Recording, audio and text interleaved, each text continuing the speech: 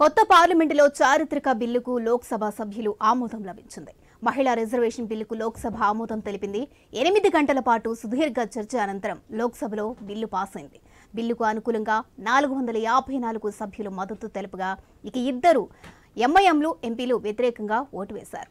D elimination. Limitation తర్వాత మహిళా రిజర్వేషన్లు కోటా అమలు చేయనుంది.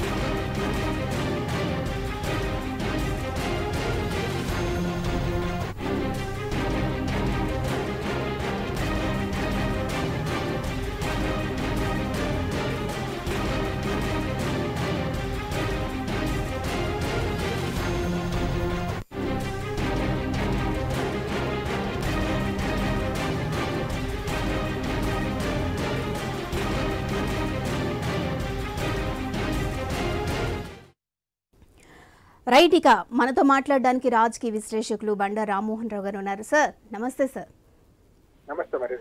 సార్ చెప్పండి సార్ లోక్సభ ఆమోదం తెలపడంపై ఏమంటారు? ఖచ్చితంగా ఇవి నవోదయం ఇది మహిళలందరికీ. రజనీ గారు మీకు కూడా శుభాకాంక్షలు. కుటుంబ. సభ్యుల నుంచి మొదలుకొని ప్రపంచంలోని మన భారతదేశంలోని మహిళలందరికీ మన శుభాకాంక్షలు. రాజకీయ దార్శనికత ఉన్న మోడీ గారు మంచో చెడ్డో వాళ్ళ బిల్లును ప్రవేశపెట్టారు. ఇది ఎంత ప్రత్యేకమైన బిల్లు అంటే కొత్త పార్లమెంట్ భవనంలో మొదటి బిల్లు ప్రవేశపెట్టడం మొదటి బిల్లు ఆమోదం పొందడం. ఈ రెండు కూడా చారిత్రాత్మకంగా నిలిచిపోయింది ఇక ఈ ఇందులో చాలా అభ్యంతరాలు వచ్చినాయి. ఆ అభ్యంతరాలు కాదని కూడా అందరూ అభ్యంతరాలు వ్యక్తం చేస్తూనే నాలుగు వందల యాభై నాలుగు మంది సభ్యులేమో ఓటింగ్లో పాజిటివ్గా ఓటేశారు. అవునని ఇద్దరు ఎంపీ మన ఇద్దరు ఎంపీలు మన ఎంఐఎం ఎంపీలు మాత్రం వ్యతిరేకంగా వేశారు. వాళ్ళకి ముస్లిం రిజర్వేషన్ లేవని.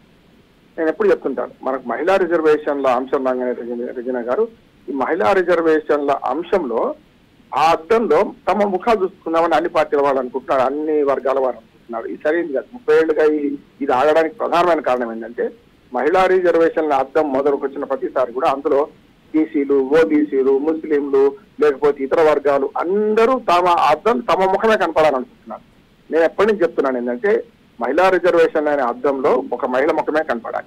అన్ని వర్గాల్లో మహిళలు ఉంటారు కదా. ఆకాశంలో సగం అవకాశాల్లో సగం. ఏ మతంలో అయినా మహిళలు ఉంటారు. ఏ కులంలో అయినా మహిళలు ఉంటారు. వాళ్ళకి యాభై పర్సెంట్ వస్తుంటే మరి ఎందుకు వ్యతిరేకత అని నేను అంటున్నాను అందుకనే ఇందులో అమిత్ షా గారు రెండు మూడు అంశాలు ప్రస్తావించారు. అది నేనేమంటానంటే ఫ్యూచర్ చెక్ లాంటిది. అంటే డేట్ లేని చెక్ అంటారే మనకు బ్లాంక్ చెక్ కాదు. ఫ్యూచర్ చెక్ డేట్ లేకుండా ఇచ్చే చెక్ లాంటిది. ఎందుకంటే అమిత్ షా గారు మూడు హామీలు ఇచ్చారు. ఒకటి రేపటి మన డిలిమిటేషన్ కాగానే వెంటనే అమలు చేస్తామని. అప్పటికి ఇది అయిపోతాయి. రెండు వేల ఇరవై నాలుగు ఎన్నికలు అన్నీ అయిపోతాయి. అంటే పన్నెండు పదమూడు రాష్ట్రాలు ఎన్నికలు అయిపోతాయి కేంద్ర మన మన పార్లమెంట్ కూడా ఎన్నికలు అయిపోతాయి కానీ వచ్చే రెండు వేల ఇరవై ఏడు లోపు అంటే వీలైనంత తొందరగా చేస్తామని. ఇది ఒక రకంగా మనకు డేట్ లేని చెక్కే. రేపు ప్రభుత్వం ఎవరికి వస్తారు? నేను బీజేపీ వస్తుందా రాదా నేను చర్చకపోతున్నాను. రేపు ఏ పార్టీ రేపు వచ్చినా కూడా ఈ బ్లాంక్ ఈ మన ఏదైతే డేట్ లేని చెక్కులాగా హామీ మిగిలిపోతుందా? గతంలో మనం చూసినాం. విభజన హామీలు ఆంధ్రప్రదేశ్ విభజన హామీలో మరి అప్పుడు హామీ ఇచ్చిందేమో మన్మోహన్ సింగ్ గారు కాంగ్రెస్ ప్రభుత్వంలో ఉన్నారు. మరి వారేమన్నారు పదేళ్ళు ప్రత్యేక హోదా ఇస్తున్నారు ఆంధ్రప్రదేశ్కు మరి తర్వాత వచ్చిన ప్రభుత్వం దాన్ని అమలు చేయలే కదా. అట్లాగే విభజన హామీలను వెనక్కి తోడి ఏడు మండలాలను తెలంగాణ నుంచి ఆంధ్రకు మార్చారు. ఇది కూడా వారి హామీ కాదు కదా. అంటే ఏమవుతుందంటే ఇక్కడ రేపొద్దున ఈ మనకు ఈ అమిత్ షా గారు ఇచ్చే ఏవైతే హామీలు ఉన్నాయో అవి ఎంతవరకు పనికొస్తాయో చూడాలి. కానీ మంచి హామీలే నేను కాదంటే ఒకటేమో డిలిమిటేషన్ వీలైన తొందరగా మొదలు పెడతామన్నారు. ఎంత తొందరగా మొదలు పెట్టినా రెండు వేల ఇరవై ఆరు లోపు అయితే మొదలు పెట్టడానికి వీలు లేదు. కానీ ఇంకొక హామీ ఇచ్చారు రెజినా గారు మరి ఏమన్నారంటే మనకు అవసరమైతే చట్టాన్ని మారుస్తామన్నారు. మార్చాల్సిందే అంట. ఇప్పుడు డిలిమిటేషన్ అనేది అడ్డం పెట్టుకొని ఉభయ తెలుగు రాష్ట్రాల్లో విభజన హామీల్లో ఉన్న సీట్ల పెంపకం చేయడం లేదు. ఉదాహరణకు నూట పంతొమ్మిది సీట్ల తెలంగాణలో నూట యాభై మూడు చేయాల్సి ఉండే విభజన హామీల ప్రకారం నూట డెబ్బై ఐదు సీట్లు ఉన్న ఆంధ్రప్రదేశ్లో రెండు వందల ఇరవై ఐదు కావాల్సి ఉండే ఇది దీనికి ఏదడ్డం వచ్చింది? ఈ మనకు డిలిమిటేషన్ అడ్డం వచ్చింది. రెండు వేల ఇరవై ఆరు దాకా లేదని. కానీ ఇదే అంశము. మరి జమ్మూ కాశ్మీర్ ఎందుకు అడ్డం రాలేదు? జమ్మూ కాశ్మీర్లో రజనా గారు మరి డిలిమిటేషన్ చేశారు. ఇది అడ్డం ఉంది కదా మరి. దీన్ని కాదని ఎట్లా చేయగలిగిండు అంటే ప్రత్యేక చట్టం చేసి చేశారు కదా. నేను ఆశపడుతున్నా ఏంటంటే ఒకవేళ నిజంగానే ప్రభుత్వానికి చిత్తశుద్ధి ఉంటే రేపు రెండు వేల ఇరవై నాలుగు తర్వాత వాళ్ళే అధికారంలోకి వస్తే ఎన్డీఏ కూటమి అధికారంలోకి వస్తే బీజేపీ అధికారంలోకి వస్తే మరి ఈ మాట నిలబెట్టుకోవాల్సిన బాధ్యత వాళ్ళ మీదే ఉంటుంది. కానీ మాట మీద నిలబడాల్సిన బాధ్యతను గత తొమ్మిదేళ్ళుగా విస్మరించారు కదా. రెండు వేల పద్నాలుగులో మహిళా బిల్లు పెడతామన్నారు. వాళ్ళ మేనిఫెస్టోలో. రెండు వేల పద్దెనిమిది పంతొమ్మిదిలో పెడతామన్నారు. ఎప్పుడు పెట్టారు? తొమ్మిది సంవత్సరాల తర్వాత పెట్టారు. కనుక ఇప్పుడు ఇది అట్లాగే రేపు పొద్దున వీళ్ళ హామీలు కూడా రేపు రెండు వేల ఇరవై ఆరు దాకా ఆగి అప్పుడు డెలిమిటేషన్ ప్రవేశపెడతారా? ఆ తర్వాత జనాభా లెక్కలు ఇంకా పూర్తిగా లెక్క జనాభా లెక్కల గురించి కూడా అమిత్ షా గారు ఒక హామీ ఇచ్చారు. ఏమనంటే మేము వీలైన తొందరగా ఈ రేపు ఎన్నికలు కాగానే మేము జనాభా లెక్కలు మొదలు పెట్టాం అసలు ఇప్పటిదాకా ఏం చేసిండ్రు? రెండు వేల ఇరవై ఒకటిలో కోవిడ్ ఉంది. రెండు వేల ఇరవైలో కోవిడ్ ఉంది అనుకున్నాం. రెండు వేల ఇరవై రెండు నుంచి అయితే ఏం లేదు కదా రెండు వేల ఇరవై రెండు ఆఫ్ మన మధ్య నుంచి అయితే almost all one and half ఇయర్కి ఆ కోవిడ్ సమస్య లేదు మనకు. మరి ఇప్పటికే ఈ జనాభా లెక్కలు పూర్తయి ఉంటే మనం డిలిమిటేషన్ కొంచెం ముందుకు జరుపుకునే అవకాశం ఉండేది చట్టం మార్చుకొని అందరూ ఒప్పుకుంటారు. ఎవరు వద్దన్నారు? డిలిమిటేషన్ ఎవరు వద్దనే పరిస్థితి ఉండదు. కనుక ఇవి చెయ్యకుండా ఇప్పటిదాకా పదేళ్ళుగా ఆలోచన చేసి ఇప్పుడు వచ్చే ఐదేళ్ళకి చేస్తా అంటే నేను అనుకుంటున్నాను ఢిల్లీ బహుత్ దూర్ హై. మహిళలు ఇవాళ అభినందన తెలియజేసుకుంటున్నాం కానీ వచ్చే ఇంకా నాలుగైదేళ్ళ దాకా వచ్చే రిజర్వేషన్లు వచ్చే అవకాశం లేదు. మినిమం రెండు వేల ఇరవై ఐదు లోపు అయితే వచ్చే అవకాశం అయితే లేదు. ఎందుకంటే రెండు వేల ఇరవై ఎనిమిదిలో ఇరవై తొమ్మిదిలో వచ్చే ఎన్నికలు అంటే వచ్చే పార్లమెంట్ ఎన్నికలకి పనిపోతుంది రెండో విషయం చెప్తాను మనకు ఆ, రచన గారు అమిత్ షా గారు ఇచ్చిన ఈ మూడు హామీలు నేనైతే డేట్ లేని చెక్కులని అంటున్నాను ఒకటి ఆయన ఏదైతే ఈ చట్టాలు కొన్ని సవరిస్తానో ఎంబీసీల గురించి కూడా ఒక హామీ ఇచ్చారు. మంచిది. అంటే అన్ని వర్గాలకు ఇప్పుడు అర్థం కాని ఏంటంటే ఇప్పుడు పార్లమెంట్ సభ్యులు వాళ్ళందరూ డిబేట్లో పాల్గొన్న వాళ్ళందరూ చెప్పింది ఏంటంటే మనకు పంచాయతీ నుంచి జిల్లా పరిషత్ వరకు అన్ని రిజర్వేషన్లు ఏవైతున్నాయో అన్ని వర్గాల నుంచి పంచాయతీల్లో ఇప్పుడు అరవై శాతం వరకు రిజర్వేషన్లు ఉన్నాయి రకరకాల బీసీలకు ఉన్నది. ఇంకా పంచాయతీలో బీసీలకు ఉంది బీసీలు ఎస్సీలు ఎస్టీలకు ఉన్నది. ఈ రిజర్వేషన్ అన్నింటిలో కూడా వన్ థర్డ్ మహిళలకు ఇచ్చేస్తున్నారు కానీ జనరల్ కోటాతో సహా కలుపుకొని. అంటే వంద మంది పంచాయతీలో మన ప్రజాప్రతినిధులు ఉంటే యాభై మంది మహిళలు వస్తున్నారు. ఒక్క కొన్ని చోట్ల యాభై ఒకటి వస్తున్నారు. కొన్ని చోట్ల అయితే రిజర్వేషన్ లేని స్థానాల్లో కూడా మహిళలు గెలిచాం. కనుక రేపు పార్లమెంట్లో కూడా జరగబోయేది ఏమనుకుంటున్నానంటే ఏ వర్గానికి రేపు పొద్దున బీసీలకు కూడా రిజర్వేషన్ వచ్చింది అనుకుందాం ఉదాహరణకు. అందులో నుంచి కూడా వన్ థర్డ్ మహిళలకు పోతుంది కదా. అందుకని నా ఉద్దేశం ఏంటంటే మంచి బిల్లే కానీ ఈ నాలుగు హామీలు ఏవైతే ఇప్పుడు పార్లమెంట్ సాక్షిగా ఆయన ఇచ్చారో ఇది మొదలే బిల్లు ప్రవేశపెట్టి రెండు మూడేళ్ళ క్రితం ప్రవేశపెట్టి ఇవన్నీ ఫుల్ఫిల్ చేసి వచ్చే ఎన్నికలకు పనికొచ్చేటట్టు చేస్తే బాగుండేది. కానీ ఎప్పుడో బిర్యానీ పెడతామంటున్నారు. ఇప్పుడైతే పచ్చడి కూడా తినాల్సిన అవసరం వస్తుంది. మహిళలు ఇంకొక ఐదు సంవత్సరాలు ఈ రిజర్వేషన్ల అమలు కోసం ఆగాల్సిన పరిస్థితి నేను అనుకుంటున్నాను. అయితే రామ్మోహన్ రావు గారు ఇప్పుడు నాలుగు వందల యాభై నాలుగు మంది వరకు కూడా మద్దతు తెలుపగా ఒక ఇద్దరు ఎంఐఎంలు ఎంపీలు వ్యతిరేకంగా ఓటు వేయడం జరిగింది. ఏ విధంగా అట్లా మైనస్ అయ్యే ఛాన్స్ ఉందని అంటే అదేనమ్మా ముస్లిం ఓవైసీ గారు ఇద్దరు ఎంపీలు ఒక బీహార్లో ఒక ఎంపీ ఉన్నట్టున్నాడు. మన తెలంగాణలో ఒక ఎంపీ ఉన్నాడు ఇక్కడ మన ఓవైసీ గారు. ఆయనే మాట్లాడారు కదా. మాకు ఆ రిజర్వేషన్లో ముస్లింలకు ఎదురు రిజర్వేషన్ అంటున్నారు ముస్లింలు ఓసీకి వస్తారు. అంటే దూదేకుల కులం తప్ప మిగతా వాళ్ళందరూ ఓసీలకు వస్తారు. జనరల్ జనరల్ కోట ఉంటుంది అటువంటి అప్పుడు ఒకవేళ అంటే ఆ ఒక ఒక సీటు పోతే అనుకున్నా మరి ఆ ఒక్క సీటు ముస్లింలకు అయితే అనుకున్నా మన అమ్మాయిలకు వేద్దాం అనుకున్నా ఏం తెలియదు కానీ మొదటి నుంచి కూడా అప్పుడు తెలంగాణకు వ్యతిరేకంగానే వారు మన బిల్లులో పాల్గొన్నారు. అట్లానే మరి ఇప్పుడు కూడా మహిళా బిల్లుకు వ్యతిరేకంగా పాల్గొన్నారు. దానికి కారణం ఏంటంటే ముస్లిం మతంలో మరి ఏదైతే ఈ స్త్రీ చేతులను గౌరవిస్తలేరా? గౌరవించినప్పుడు ఎందుకు చేస్తలేరు? ఇందులో మహిళల్లో కూడా ముస్లింలకు అవకాశం ఉండాలంటే ఎట్లా పెట్టవస్తుంది ముస్లిం రిజర్వేషన్లు చెల్లవని గతంలో సుప్రీంకోర్టు తీర్పిచ్చింది కదా. ఒకవేళ ఇస్తే కూడా ఈబీసీ కింద ఇస్తే కూడా అది ఆర్థికంగా. ఉద్యోగాలు వచ్చినప్పుడు మన గతంలో రాజశేఖర రెడ్డి గారు చేసినప్పుడు పది- పర్సెంట్ పెంచుతా అంటే అది ఐదు ఎనిమిది పర్సెంట్ చేస్తే నాలుగు పర్సెంట్కి అయిపోయింది కదా యాభై శాతం దాటుతుంది దాని మీద. కనుక రాజకీయాల్లో ముస్లింలకు రిజర్వేషన్ అవసరమా కాదా అని వస్తే లేకపోతే మతపరమైన రిజర్వేషన్ పెడితే మళ్ళీ ఒకసారి మన దేశం చీలిపోద్ది కదా మరి? ఇప్పుడు ఇప్పటికే గతంలో జిన్నా గారు వాదించింది అదే మతపరమైన రిజర్వేషన్ ఉండాలి అన్నాడు. కనుక రిజర్వేషన్ లేకుండా బ్రిటిష్ వాళ్ళు ఏం చేశారు? విభజించి పాలించాలని రెండు దేశాలు చేశారు. మరి ఒకవేళ ముస్లింలకే కనుక మనం రిజర్వేషన్ ఇస్తే రేపు పొద్దున మన దేశం మళ్ళీసారి చీలిపోయే అవకాశం ఉంటుంది కదా? కష్టం కదా? అందుకని మతపరమైన ఆ రిజర్వేషన్ లేవు. బీసీలకు ఇప్పటికీ రిజర్వేషన్ లేవు పార్లమెంట్లో.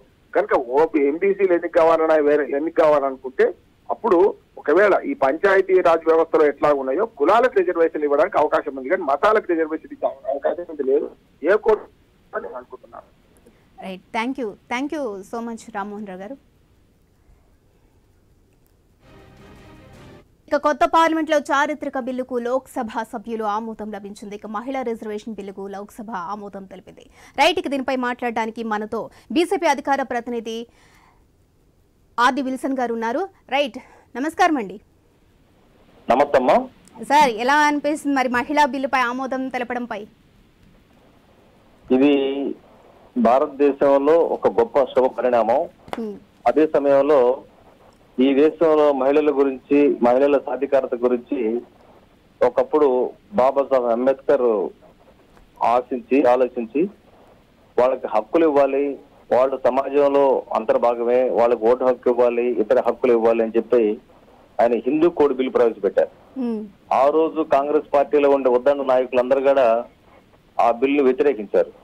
తర్వాత ఆయన మనసు గాయపడి రిజైన్ చేసి బయటకు వచ్చారు ఈ రోజు అభినవ్ అంబేద్కర్గా మారి నరేంద్ర మోడీ గారు ఏదైతే గత దశాబ్దాలుగా ప్రజలు అంటే మహిళలు ఎదురు చూస్తున్నారో ఆ మహిళలు ఎదురు చూసే క్రమంలో ఈ హిందూ కోడ్ బిల్లు ఏదైతే అంబేద్కర్ తీసుకొచ్చారో ఈ రోజు మహిళా బిల్లు కూడా ముప్పై శాతం రిజర్వేషన్ని నరేంద్ర మోడీ గారు తేవడం ద్వారా మహిళల పట్ల ఆయనకున్న శక్తి నారిమన్ అంటే ఏదైతే మహిళలకి ఉందో వాళ్ళని చట్టసభల్లోకి తీసుకురావాలి ఆ అసెంబ్లీ గాని పార్లమెంట్ గాని ఒక బలమైన భావోద్వేగంతో ఈ రోజు మోడీ గారు ఈ నిర్ణయం తీసుకోవడం జరిగింది. అదేవిధంగా భారత పార్లమెంట్ గాని అదేవిధంగా ఇక కేబినెట్లో గాని ఒక నిర్ణయంతో వచ్చాం. ఈ నిర్ణయం అనేది ఆమోదం తెలియజేయడం అనేది ఆమోదం రావడం అనేది భారత ప్రజలకి అందరికి కూడా ఆనందం కలిగించే విషయం.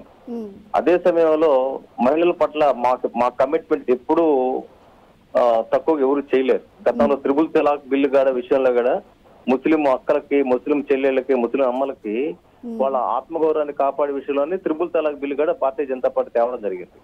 అదేవిధంగా త్రీ సెవెంటీ ఆర్టికల్ రద్దు చేయడం ద్వారా మరి భారతదేశంలో ఏదైతే నా కాశ్మీర్ అడ్డం పెట్టుకుని పాకిస్తాన్ అనేక దశాబ్దాలుగా డ్రామా ఆడుతుందో నరకం చూపిస్తుందో ప్రజలకి దాని నుంచి విముక్తి కలగడానికి త్రీ సెవెంటీ ఆర్టికల్గా రద్- రద్దు చేయడం జరిగింది. చాలా ప్రజల మెజారిటీ ప్రజల మనోభావం దృష్టిలో పెట్టుకొని అయోధ్య రామ జన్మభూమి చే- వాళ్ళు సాకారం చేస్తారు ఇంకా ఇవాళ పైన రేపైనా సరే మేము ఖచ్చితంగా కామన్ సివిల్ కోడ్ని ఖచ్చితంగా సాధిస్తాం.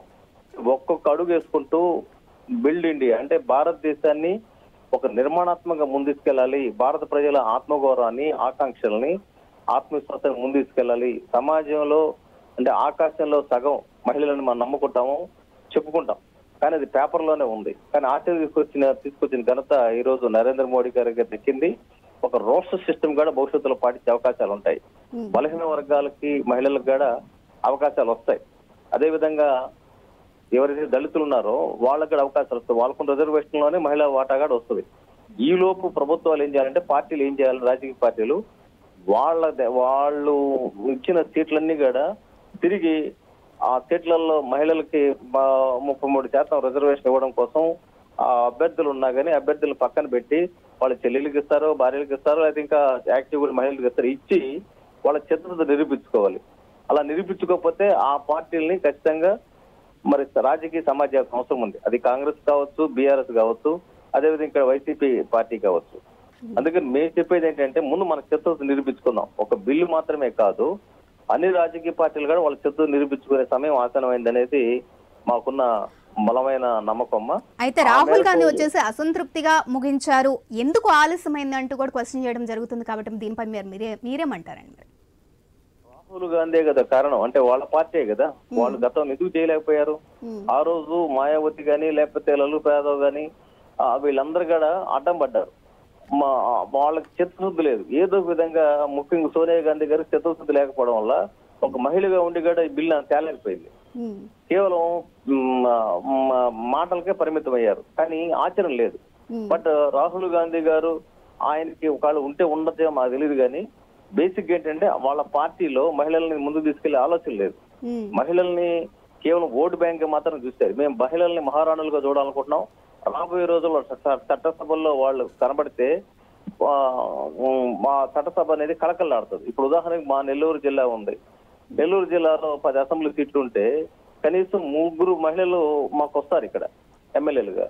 కానీ అవకాశం లేదు. కాబట్టి ఈ బిల్లు రావడం వల్ల ఏమవుతుందంటే ప్రతి దగ్గర ప్రతి జిల్లాలోనూ మహిళలు వస్తారు ప్రతి రాష్ట్రంలో మహిళలు వస్తారు. ఆ విధంగా సంఖ్య అనేది పెరుగుతా పోద్ది.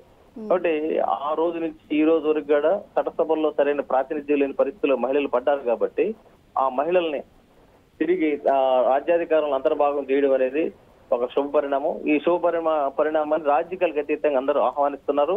ఇది మంచి ఆలోచన విధానం. ఈ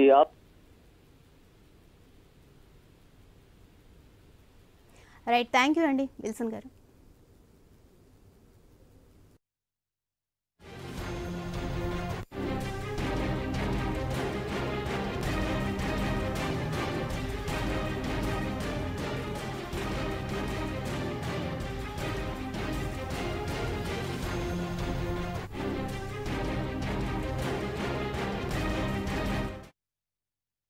కొత్త పార్లమెంటులో చారిత్రక బిల్లుకు లోక్సభ సభ్యులు ఆమోదం లభించింది.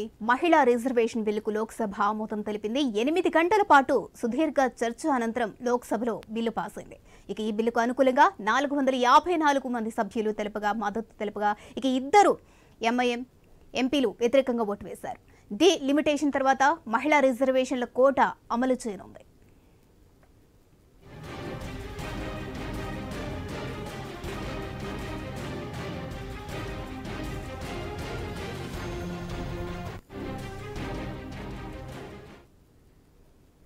కొత్త పార్లమెంటులో చారిత్రక బిల్లుకు లోక్సభ సభ్యులు ఆమోదం లభించింది. మహిళా రిజర్వేషన్ బిల్లుకు లోక్సభ ఆమోదం తెలిపింది. ఎనిమిది గంటల పాటు సుదీర్ఘ చర్చ అనంతరం లోక్సభలో బిల్లు పాస్ అయింది. ఇక ఈ బిల్లుకు అనుకూలంగా నాలుగు వందల యాభై నాలుగు సభ్యులు మద్దతు తెలుపగా ఇద్దరు ఎంఐఎం ఎంపీలు వ్యతిరేకంగా ఓటు వేశారు. ఇక డీలిమిటేషన్ తర్వాత మహిళా రిజర్వేషన్ల కోట అమలు చేయనుంది. రైట్ ఇక దీనిపై పూర్తి అప్డేట్స్ ఢిల్లీ నుంచి మా ప్రతినిధి రామకృష్ణ పూర్తి అప్డేట్ అందిస్తారు. రైట్ రామకృష్ణ. చట్టసభల్లో మహిళలకు ముప్పై మూడు శాతం రిజర్వేషన్ కల్పించే నారీ శక్తి వందన బిల్లుకు లోక్సభ ఆమోద ముద్ర వేసింది ఎనిమిది గంటల సుదీర్ఘ చర్చ అనంతరం ఈ బిల్లుకు దిగువ ఆమోదం తెలిపింది బిల్లుకు అనుకూలంగా నాలుగు వందల యాభై నాలుగు ఓట్లు వ్యతిరేకంగా కేవలం రెండు ఓట్లు మాత్రమే వచ్చా రెండు ఓట్లు కూడా ఎంఐఎం ఎంపీలు ఎవరైతే ఉన్నారో అసదుద్దీన్ ఓవైసీ అలాగే ఇంతియాజ్ జలీల్ ఒకరు ఔరంగాబాద్ నుంచి ఒకరు హైదరాబాద్ నుంచి ఉన్నారు ఇద్దరు ఎంపీలు. మరి విపక్షాలు ప్రవేశపెట్టిన సవరణ కూడా వీగిపోయాయి. మహిళా రిజర్వేషన్ బిల్లుపై మాన్యువల్ పద్ధతిలో ఓటింగ్ నిర్వహించారు. రాజ్యాంగ సవరణ ఉండడం వల్ల ఈ పద్ధతికి ఓటింగ్ చేపట్టారు. ఈ బిల్లులో గురువారం రాజ్యసభలో ప్రవేశపెట్టే అవకాశం ఉంది. రాజ్యసభ ఆమోదం కూడా లభిస్తే నియోజకవర్గాల డీలిమిటేషన్ ప్రక్రియ పూర్తయిస్తే మహిళా రిజర్వేషన్ బిల్లు అమల్లోకి రానుంది మరి లోక్సభ శాసనసభలో మహిళలకు ముప్పై మూడు శాతం రిజర్వేషన్ అమల్లోకి వస్తాయి. మరి రెండు వేల ఇరవై ఆరు తర్వాతే డీలిమిటేషన్ ప్రక్రియ చేపట్టాల్సి ఉంది. మరి అది పూర్తయితే మహిళా రిజర్వేషన్ అమల్లోకి రావడానికి కొన్నేళ్ళు పట్టే అవకాశం అయితే ఉంటుంది. వచ్చే ఏడాది జరిగే సార్వత్రిక ఎన్నికల్లో మహిళా రిజర్వేషన్లు అమలుకి రావు. మరి రెండు వేల ఇరవై తొమ్మిదిలో పార్లమెంట్ ఎన్నికల్లో మహిళా రిజర్వేషన్లు అమలు అయ్యే అవకాశం ఉంది. రెండు వేల ఇరవై ఆరు తర్వాత డీలిమిటేషన్ ప్రక్రియ పూర్తయితే ఆ తర్వాత వచ్చే అసెంబ్లీ ఎన్నికల్లో రిజర్వేషన్లు అమలు చేసే అవకాశం ఉంది. గతంలో మహిళా రిజర్వేషన్ బిల్లు చాలా సార్లు పార్లమెంట్ ముందుకు వచ్చింది. ప్రతిసారి ఏకాభిప్రాయం కుదరకపోవడం వల్ల వెనక్కి వెళ్ళిపోయింది. రెండు వేల పదిలో మహిళా రిజర్వేషన్ బిల్లుకు రాజ్యాంగ సభ రాజ్యసభ ఆమోదం లభించిన లోక్సభ పచ్చ జెండా ఒప్పలేదు దాంతో ఇరవై ఏడు ఏళ్ళుగా ఇది పెండింగ్లో ఉంది. ఈసారి మహిళా రిజర్వేషన్లకు దాదాపు అన్ని పార్టీలు మద్దతు ఇచ్చాయి. ఈ రోజు లోక్సభలో ఆమోదం పొందింది. రేపు రాజ్యసభలో కూడా ఆమోదం పొందే అవకాశం కనిపిస్తుంది. అయితే రామకృష్ణ ఇప్పుడు రాహుల్ గాంధీ కొన్ని వ్యాఖ్యలు చేయడం కూడా జరిగింది. మరి తమ వ్యతిరేకతని ఏ విధంగా తెలియజేసే అవకాశం ఉండొచ్చు? మహిళా రిజర్వేషన్ బిల్ చర్చలో పాల్గొన్నప్పుడు కేంద్ర మంత్రి హోం కేంద్ర మంత్రి అమిత్ షా మహిళా రిజర్వేషన్ బిల్లుపై ప్రతిపక్షాలు రాజకీయ రాజకీయం చేస్తున్నాయని విమర్శించారు. మహిళా సాధికారత అనేది ప్రతిపక్షాలకు రాజకీయ ఎజెండా కావచ్చేమో కానీ భాజపాకు కాదని పేర్కొన్నారు. ఎన్నికల తర్వాత వచ్చే ప్రభుత్వం జనాభా లెక్కలు డీలిమిటేషన్ ప్రక్రియ నిర్వహించి వెంటనే మహిళా రిజర్వేషన్ బిల్లు ప్రక్రియను ప్రారంభిస్తుందని స్పష్టం చేశారు. విపక్షాలను ఈ బిల్లును ఏకగ్రీవంగా మద్దతు తెలపాలని కోరారు. బిల్లులో ఏమైనా లోపాలుంటే తర్వాత సరిదిద్దుకోవచ్చని చెప్పారు. మరి రాజ్యాంగ సవరణ ఆమోదం పొందిన తర్వాత ఉభయ సభలు పార్లమెంట్లో ఉభయ సభలు అసెంబ్లీలో మహిళలకు ముప్పై మూడు శాతం సీట్లు రిజర్వ్ అయితే దీంతో మహిళల హక్కు కోసం సుదీర్ఘంగా జరుగుతున్న పోరాటానికి తెర పడుతుంది. రైట్ థ్యాంక్ యూ రామకృష్ణ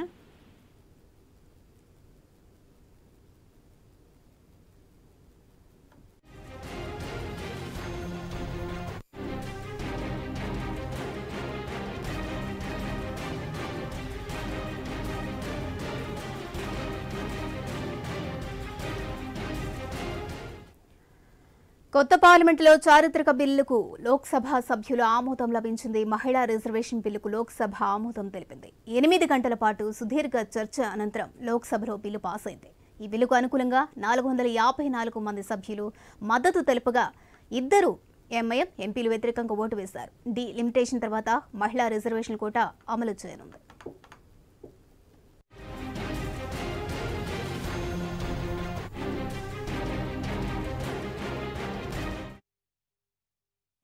ये भी बुलेटिन अपडेट्स की पहुँच आएँगे